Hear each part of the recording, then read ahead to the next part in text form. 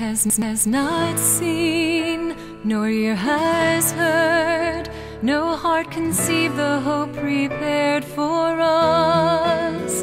Now we see dimly, but one day clearly, face to face we shall behold our